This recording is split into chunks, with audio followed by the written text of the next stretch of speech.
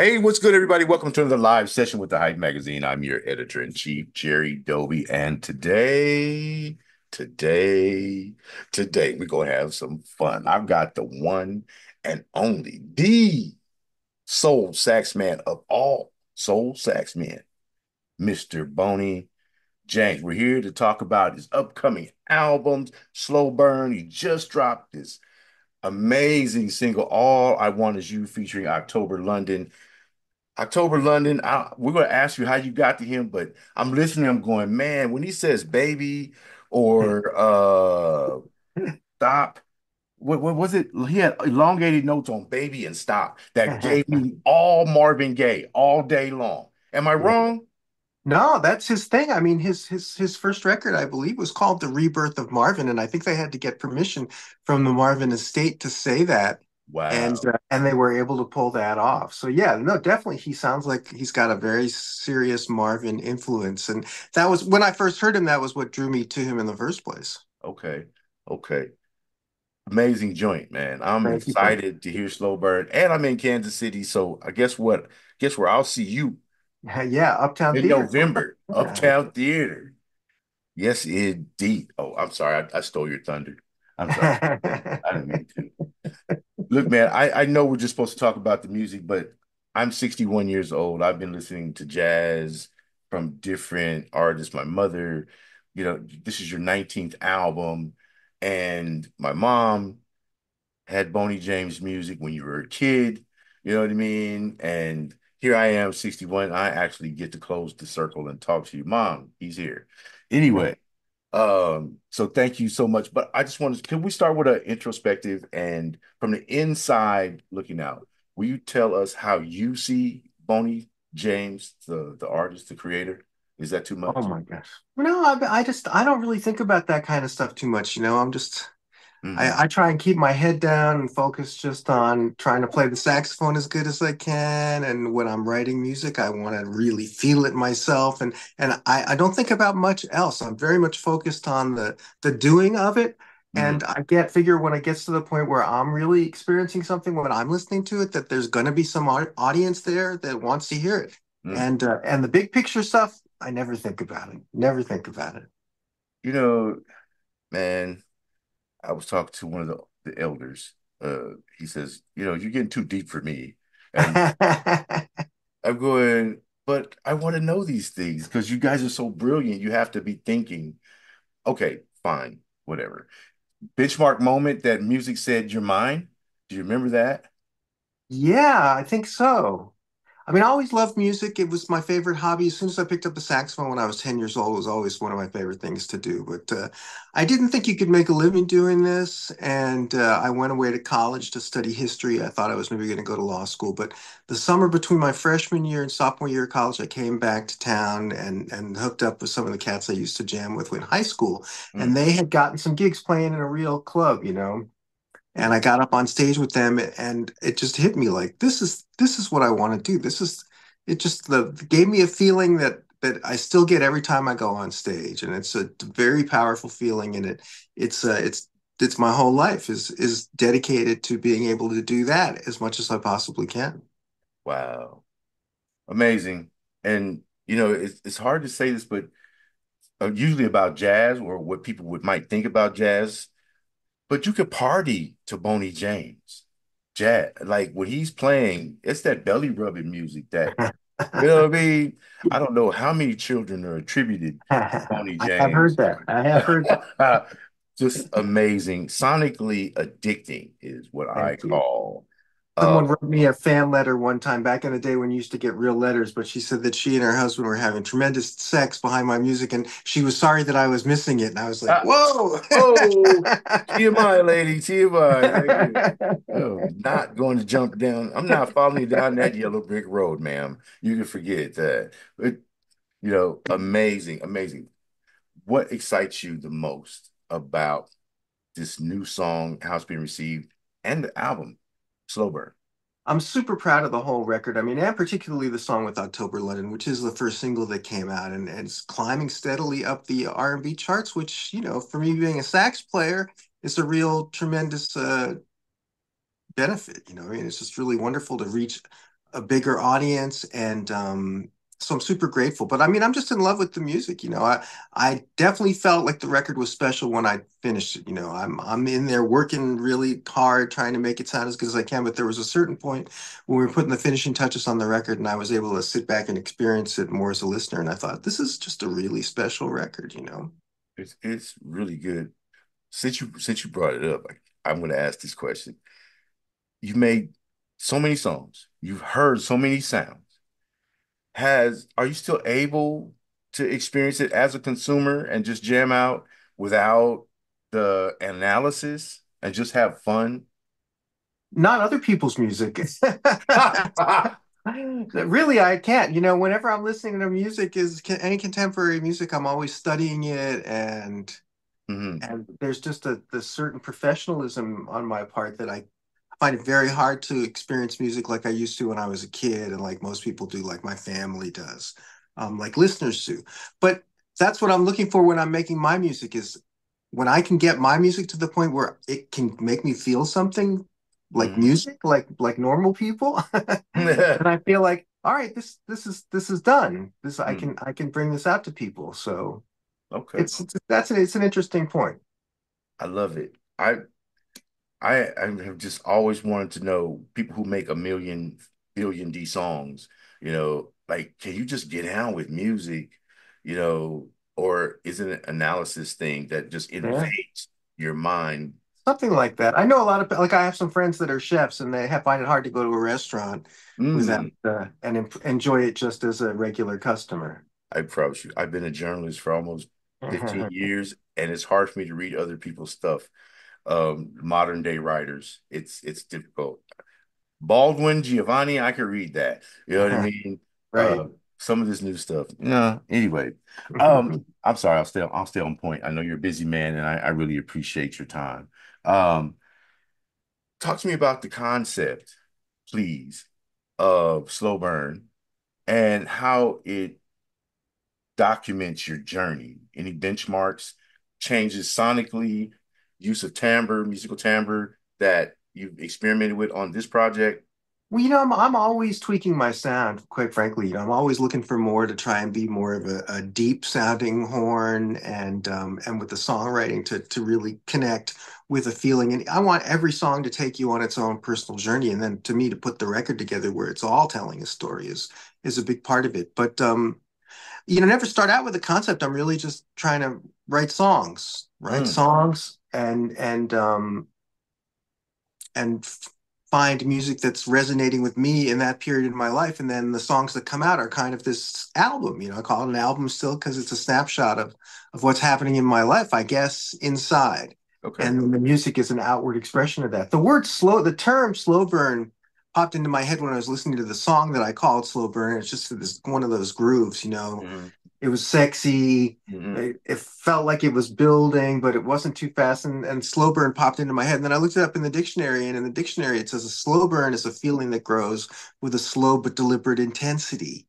And I thought, that sounds good. That's a good concept to sort of talk about the whole feeling of the record Right. and maybe my whole career in a way, because this is my 19th record and I feel like I'm just hitting my stride, you know. So You know, that's kind of the story. it's, it's amazing. I, I, I, you know, was served all I want is you. I said, okay. And I spent like a couple of hours with Boney James music on Apple. Just, I just let it run. I was like, I'm going to work to this today. And just, I felt great and uplifted, not the drudgery of being a freaking magazine editor. You know what I mean? I'm like, oh, it was Yeah. beautiful. So thank you uh, Oh, thank for, you. for elevating my day, man. I really, I really appreciate it. You called Slow Burn another step in your career, Mm. in your creative journey. So, uh, how do you feel, you know, music has evolved over the years? Boy, that's another big question. You know, I, I don't Uh, I don't pon- I don't ponder that too deeply either, just because it's it's everything's so different. I mean, I've been in this business for a long time, you know, and I've right, yeah. seen it change. Mm, Um, but the fact is, uh, you know, people still love music. I still love making music. I'm still love playing shows and making records, and and people just found a new way to to consume it, which is cool. I mean, I find that this whole streaming era to have all the music ever was at your fingertips has kind of turned out to be a cool thing, and people are are using it. You know, Mm-hmm. people are going back and finding my old records that you know it's very interesting to look at the streaming numbers which the label sends me from time to time and to say, Mm. right, well, this this record from 20 years ago is getting a lot of streams and this new one is getting a lot of streams. And it's like, well, I guess people are just digging listening to the music. And and I know I appreciate being able to go online and, and listen to something if I'm interested. Yeah, Um, the same said, this record has a couple of covers on it from from back in the day. You know, I'm I did a Herbie Hancock song on this record called Butterfly. I I got. Marcus Marcus Miller playing bass on, and Cory Henry on keyboards on it, and and I sort of doing an homage to Stanley Turrentine, who was one of my favorite sax players when I was coming up. So I did a version of of, of uh, Sugar, one of his famous songs. So I'm trying to connect all the future and the past together. You, you're just having fun on this one. Just having fun. Kid having fun. They let me That's what it is. it store, right? What it Okay. is. You know, I okay. These were the serious questions. Guess what? Bye. Um, I was like, I this just I don't care anymore. I just want to enjoy in listening to you talk about Oh, thank you. your your how you feel. Do you get a, I guess I get a physical something when I know I've put a piece of prose together and it's working. Is it the same way for you? Do you get that moment during the process? You go, yeah, Oh yeah. Yeah. okay. Absolutely. Yeah, it's very it's very gratifying, you know. It's Mhm, all a big puzzle, you know, and, and when you especially when you start and you sit and you don't know what you're doing, there's an empty space. But you mhm. know, I get little ideas and then I pick at them and pick at them and and add something and take something away, and you know how it is. And Yeah. and you get to a certain point where it's like you've actually created something, and that's that's really gratifying. That's what I love about making records. It's like putting a puzzle together. But on the Yeah. flip side, I get to go out now and and play live shows, and that's just in the moment. Oh You do it once and it's gone, and and uh, and it's a rush. So they're two different kinds of feelings, but they're both around the mm-hmm. same thing. You have, I'm looking, tour started July 21st and is running through January 25th. If this man has a chance to sleep, blink, or breathe in peace, mm-hmm. I doubt it because obviously you're rehearsing in between all this stuff. Talk to me. I've never been on the road as an artist, so it's a mm-hmm. layperson's question, but talk to me about some of the creative sparks, like wildest creative sparks that you found on the road while touring for a record to that ignited a new one. Well, I mean, that's hard to pick because I mean, every night is different. That's the thing about being on the road. You know, every crowd is different, even though we're playing the same music and there's the band communication is different and all these little things happen. And that's the great thing about it. But the other great thing about it is that when it happens, it's live. It's not Memory. commemorated in any way. Yeah. Yeah. So it's gone in the moment. Mm. So I don't know in terms of lessons or things like that. You know, every day is an opportunity to try and connect better with the audience and the band and the music and Mm. and the thrill of that in real time, the challenge of it, you know, it never gets old, that's for sure. So you're present every moment of the performance Yeah. and that you're with the audience and they're partying with you and they're going, yeah, my man. Yeah. Well, you, you know, people who have seen me live, and you know, I think they would be able to see that uh, that there's nothing I'd rather be doing because it does the rest of the world just just goes away, and and and hopefully I can get the crowd to come along with me, and we're all in this moment of live music, and it's it's a special feeling. You're you're you're a brother with soul and it shows, it comes out. You know, I four-time Grammy nominated, but he won a Soul Train Award. Okay. Okay. And he's was got a good night. That was a good that, night. that was a real good night. It I'm just saying that to to and and mentioning that to say, you know, I grew up in a household where it was difficult. You if I turn this thing off, you'll see all the the records that I inherited from my mother, the vinyl. and you know I've got Boney James album sitting in the crate, and I've got a turntable upstairs that I need to bring downstairs and and into this space so that I could I could function. But I, I just love it, and and you resonate in a in an area R and B, you know, not just the jazz, but the R and B, the love making music, the soul music, the stuff that makes people reach out and go and connect with other human beings, kind of like a bridge, a musical bridge, mm-hmm. uh, as I see it. You know what I mean? Um, you start the conversation, bro. Did you hear that riff, bro? Mm-hmm. And besides, I, I was the jealous ass who was stuck on clarinet in sixth grade and wanted to be the sax guy because they were the cool guys, right? It's never too late. Never too late, man. Oh, brother, I'm done. Fender, Fender tried to help me out. It didn't work. It didn't work. what do you most love about music?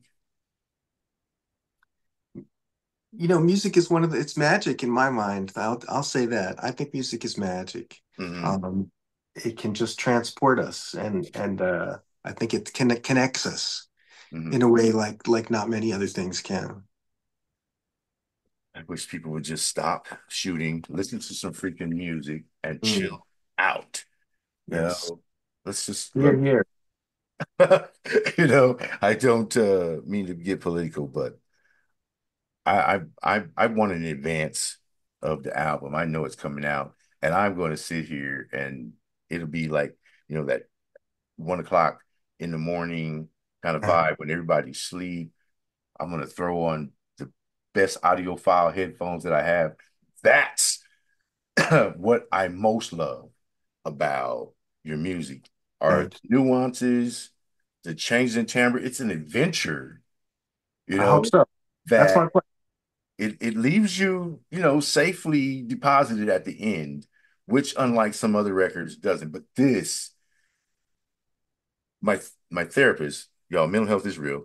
My therapist says, you know, do you are you into? And I go, man, anytime jazz, you know, I could listen to Boney, I could listen to Wynton, I could listen to, you know, uh, my favorite jazz album before I, I am going to hear uh Slow Burn, which will be my new favorite jazz album, was Our Man in Paris. Okay. Mm. That's how deep um I use it to relax and go to sleep and all that good stuff. All right. They were going to send me talking points. I know that you're doing this. Everybody, you've been interviewed by everybody, their cat, uncle, and dog. Is there a question that we as journalists have failed to tap into with Boney James, hmm. real Boney James, that maybe you have wanted to share and we've just been too selfish and self-centered uh, to ask? No, no, man. I, I, I like all the questions that you've asked, and and you've made me think a little bit too. So it's not my job, you know. I I never think about things like that. That's yeah. I just try to turn them from interviews to conversations because yeah, I hear you, man. Um, more fun. No, I'm just I'm I'm just glad to have an opportunity to you know to to talk to anybody about my music. That's really you know that when as long as we're here and and and talking, it's a good thing. I you know it's a beautiful thing. I agree with you. Excuse, excuse me. 1990. Can we take, can we go back? Is it, am I allowed sure. to do that? Sure. 1995, Seduction. Mm. I know where my mind was at. How did you not get distracted when you were making that project? Yeah, I think there might have been a moment where actually did I was playing something for my spouse and and and we might have got a little distracted. Okay. I won't say it's never happened. Right, right. I mean, like somebody just look at you like you know you got a problem. Yeah, there's some problem. good there's some good records. That's a, I think Lights Down Low on that album is probably one of my favorite songs that I've written. Okay. But you know, when I think about it, I think about the day I went over to my friend Daryl's house and he played me these chords and and that melody popped into my head and then I grabbed my horn and set up the mic and we played and that that's what ended up on the record. You know, wow. I I think about all the you know the the technical doing of it But hmm then the music, as you say, it's a feeling that lives forever and other people get to experience. So that's that's the mysterious thing about it. I have to do this for the youngsters, right? As you were coming up and finding yourself more and more successful and more and more accepted and in, in demand, I think everybody that elevates and climbs that Jacob's ladder, right, hits a point where they have this imposter syndrome. How hmm. did you work through it? Like, did you do the butt naked in front of the mirror thing psychologically? Not literally, but you know, and each achievement, like put on an article of mental clothing, sock, sock, drawers, you know, pants, shirt, until you got to the crown and said, you know what? I'm doing the right thing. Oh boy, that's I think that's a process for everybody. I mean, I'm a human being, you know, definitely when I first started, I had this sense of like, um, you know, do I deserve it or whatever. Um, but over time, I've gotten more mature and I've gotten more secure and confident, and and um, the the longevity of my career has been really helpful, and and just coming to realize that there's people that obviously dig what I'm doing, so it must be worth something to them, and and and to just own that for myself. Um, that's been a process, but I, I'm I'm feeling pretty strong right now. You know, I, I feel like I I'm I'm centered in inside and know that. Uh, I'm doing something worthwhile. And I know for sure when I go out and I see all those smiling faces that I'm doing something that's that's that's having a benefit for other people. And that's really what I think it's all about.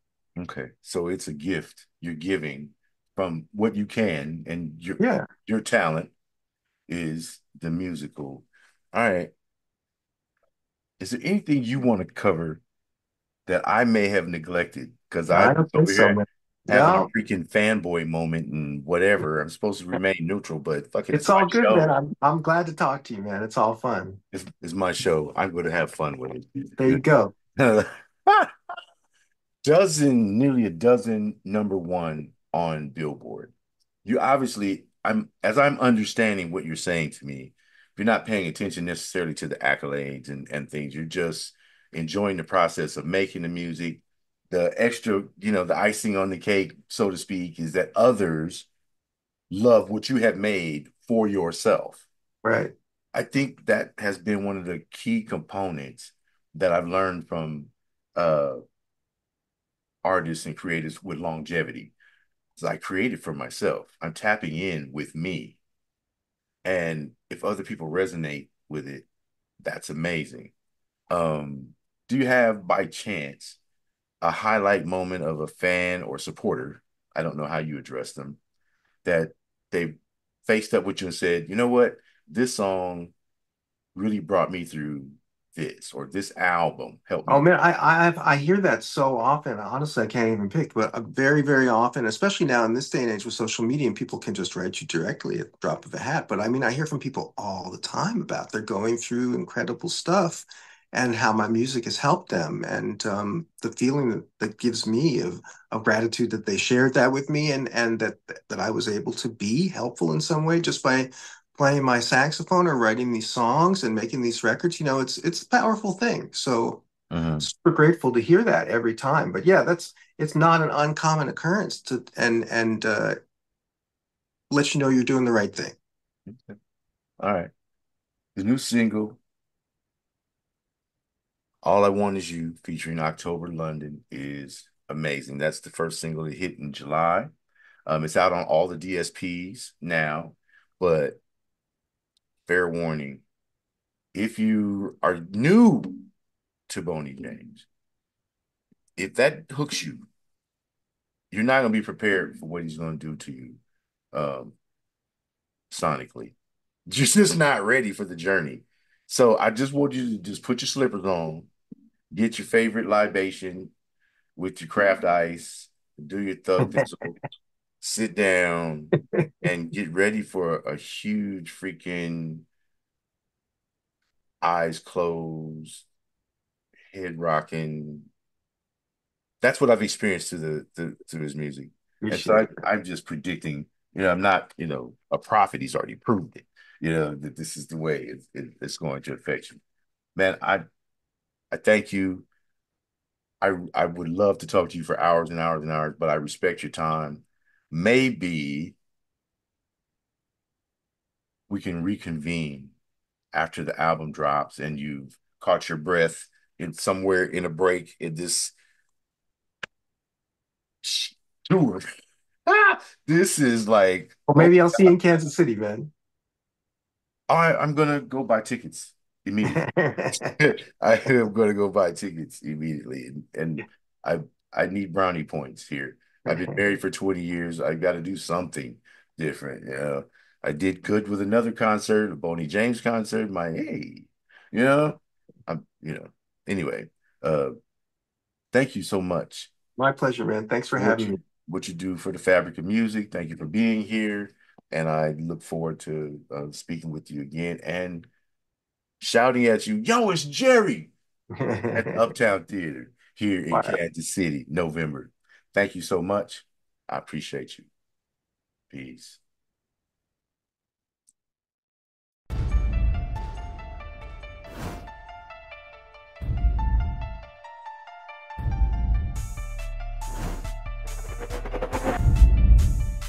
As an artist, we should reflect the time. Why you so talented? Cause I'm black. Why you so amazing? Cause I'm black. really important that we build characters so that people understand their story matters. 2 Chainz and I both are just really into good food. And when you know you are royalty, you will only aim in life to be royalty. We're doing it right now. I don't give a damn what they say about me. Yes, I called your ass out. I know I shouldn't be saying this kind of Shout out the Hype Magazine Network. Shout out to the Hype Magazine Network.